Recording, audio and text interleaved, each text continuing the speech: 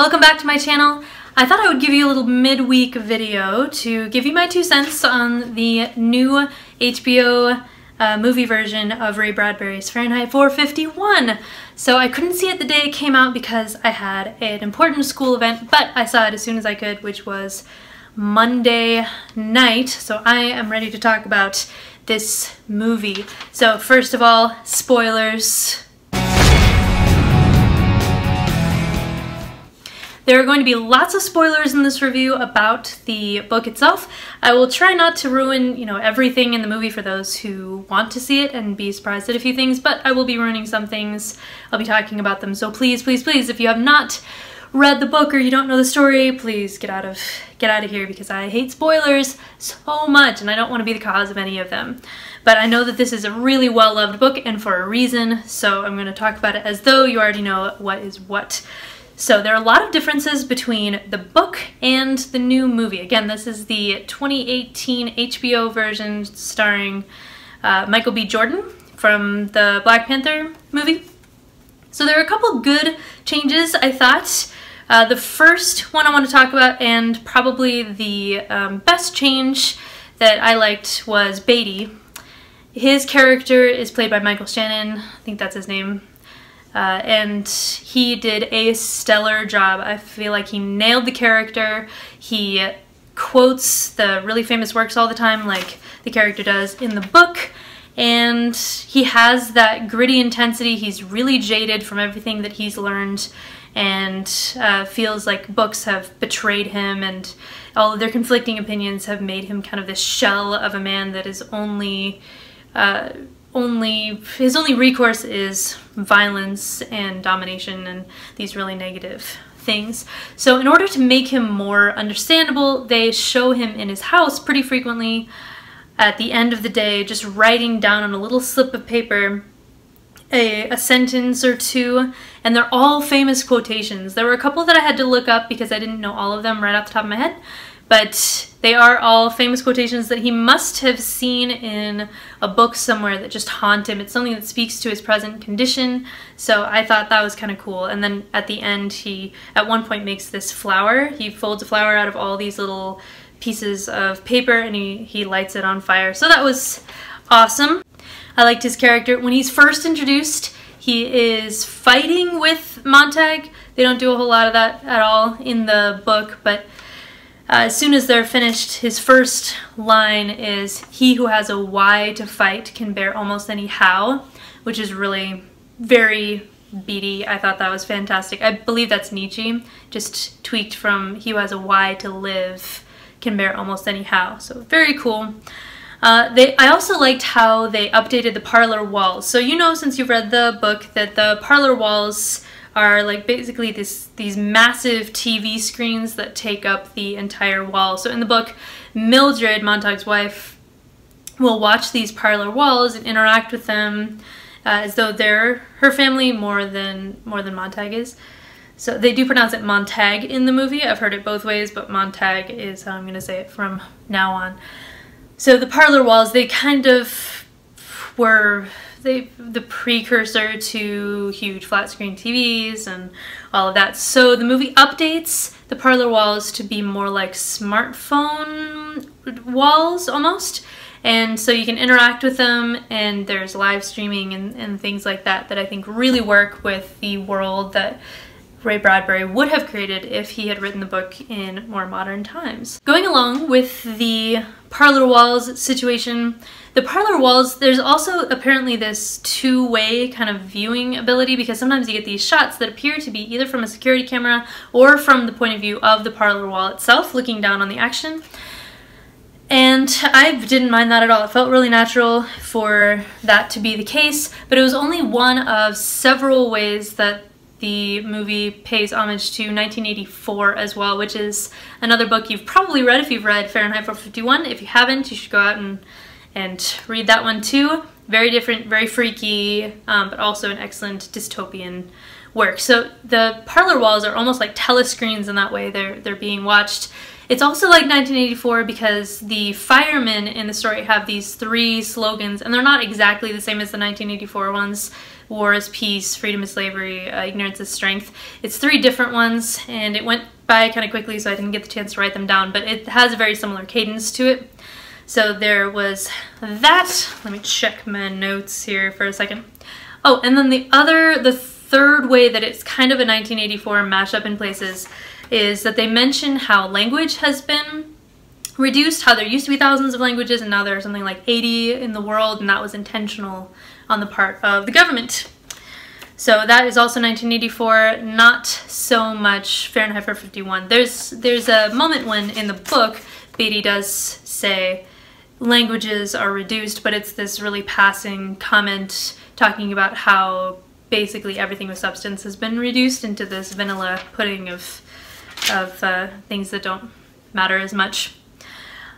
Uh, two other things that I liked about the movie before I go on to the things that I did not like so much and probably are the reasons why the reviews are not coming back super great. I liked that they had Montag, Montag in, in line for Beatty's job in the movie. I thought that that raised the stakes and gave him more buy-in with the firemen. You see that in the book as well, but it was just a more visual, uh, well, I don't know, visual, but a more cinematic way to get that idea across without um, having to see into his mind or have him talk much about it. The relationship between Beatty and Montag really is the best one in the in the movie. I think there's a relationship between Montag and Clarisse as well, but I'll get to that later. And then finally, I really liked how they kept in many of the original lines, like when the old woman is burned with her books. Remember, I gave you the spoiler. She does say, play the man, Master Ridley, and that whole line that she says in the book, uh, in the movie as well. So that was nice.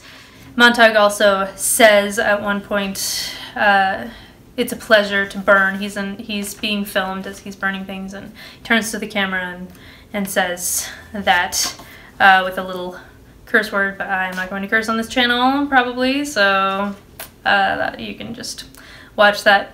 Yes, if you're planning on, on showing this to a class, if you are a teacher maybe, uh, make sure that you watch the movie first. There is an F-bomb, a couple of them that are dropped in the movie, so just, you know, buyer beware kind of a thing.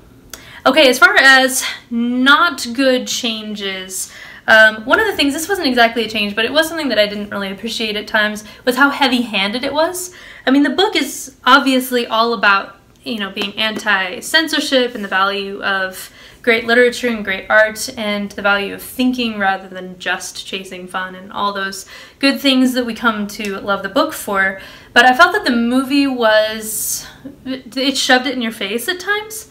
So for instance, the opening crawl the credits, it goes on for quite a long time actually. It felt like an old movie almost with how long the, the opening sequence was.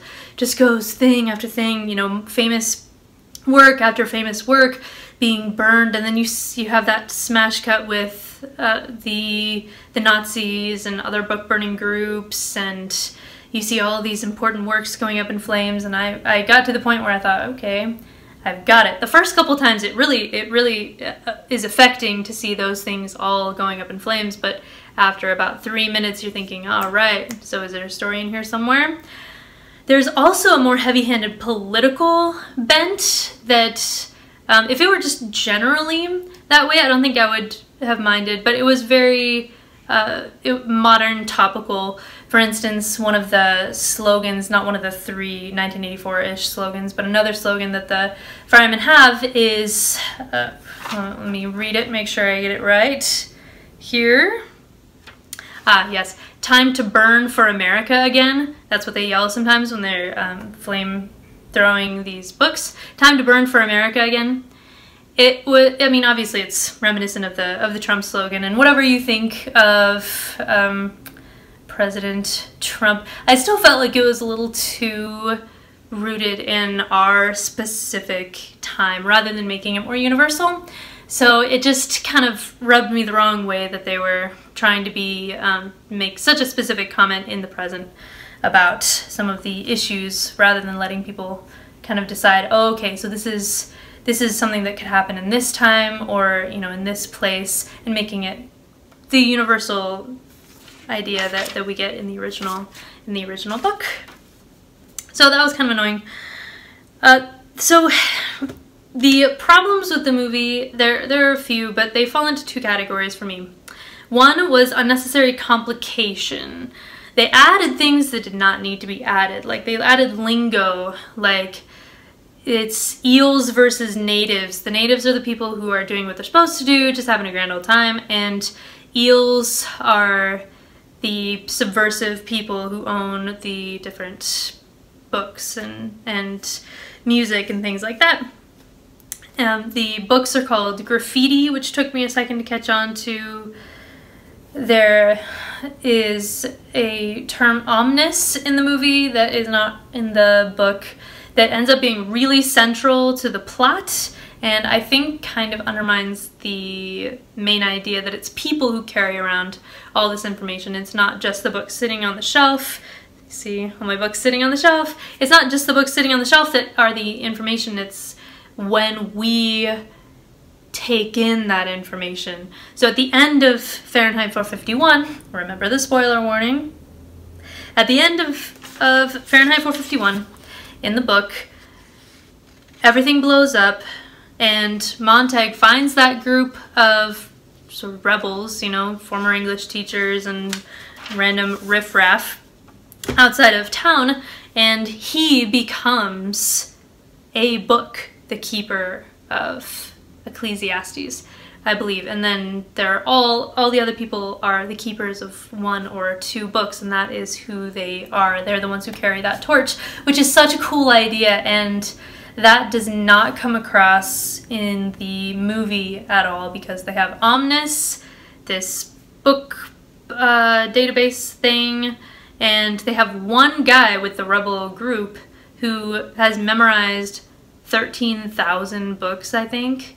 So he's he's the savant, which would be an interesting idea, except that it's so far removed from what Bradbury, I think, had intended. So those are some complications. The group in general, that, that outsider group is also complicated by its membership qualifications, which you don't get in the book in the book it's just hey you know do you agree generally with us? Cool you can you can survive with us we'll share our food. And there's this humanity this human connection which is again so much of the point. When in the book Montag comes across this group with Granger and the other outsiders he sees oh look the fire isn't there to to burn to destroy. The fire is there to warm and is more of a positive thing. And and people are doing things that are positive with their hands and he's making all these connections about things that are constructive and positive and the connections that these people are making are real as opposed to say Mildred and the parlor walls. Not so much in this group. This group is a little bit more militant feeling because, and I am going to give this away because it was weird, in the movie the group tells Montag that in order to be inaugurated into their their group of people, he has to go and shoot somebody in another room. He has to shoot a fireman. He has to kill someone. I was thinking, what? That's dumb. I mean, in the book we know that he does kill some people, but it's not like that was some rite of passage to get him into the group or anything like that. And so he is told to kill this fireman in the other room. So unnecessary complications happened. All this lingo, all this extra stuff. And then the other category of things that I thought could have gone better are the unnecessary cuts, and there were some significant ones. So if you are very attached to the idea of Mildred, say goodbye. Because she is no more. Now, I kind of expected this. I thought, okay, this is an HBO movie of Fahrenheit 451. They've got to kind of spice things up, or they probably will feel that they have to. So they're probably going to make Clarisse the love interest. I was right. They did make Clarisse the love interest. She is not 17 years old, this, you know, innocent teenager. She is a world-weary, I don't know, early 20-something. She reminded me a lot of the, the girl in The Bourne Identity, actually she had a very, very similar vibe, kind of on the run and all of that. So now Mildred is gone and Clarisse is there instead. No Mechanical Hound, no Faber. I mean, maybe There was a person who showed up who could have maybe been Faber, Faber, but I, I doubt it. He's there for about half a second. And the thing I will not spoil for you fully, but that I will just give you a warning about, is that the ending is completely different. Completely different from the book.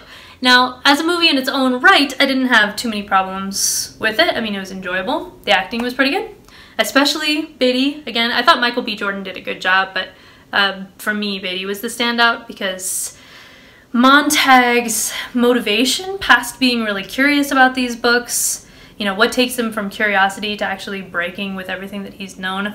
I didn't feel like that kind of connection fully worked. Uh, so anyway, the movie was pretty good, but do be aware if you are a big fan of Fahrenheit 451, do not expect it to be exactly the same because it is not.